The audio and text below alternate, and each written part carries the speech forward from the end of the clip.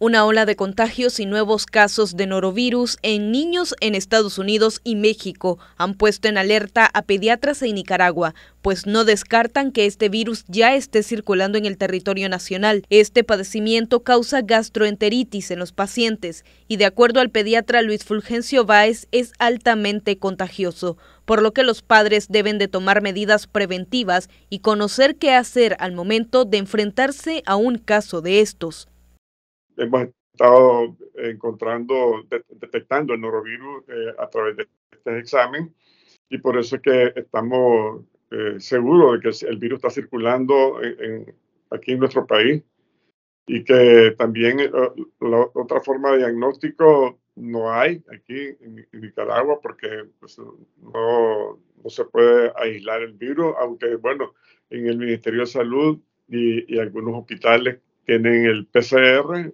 para algunos tipos de virus y con el PCR también se puede hacer un diagnóstico más certero. Los síntomas que se presentan en un niño o niña que contrajo norovirus inician un día después del contagio.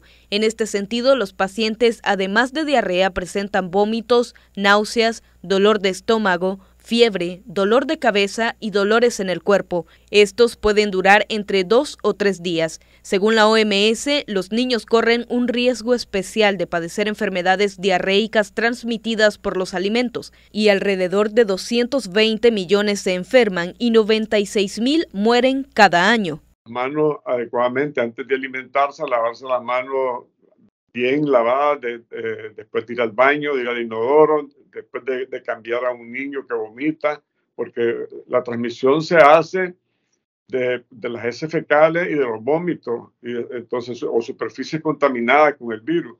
Entonces es importante lavado de manos.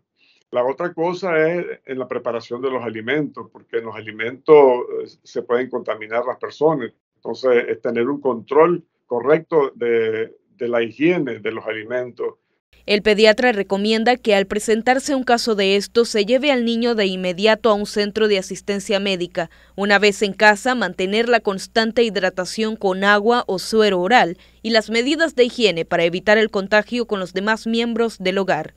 Yelkis Carrión, Voz TV.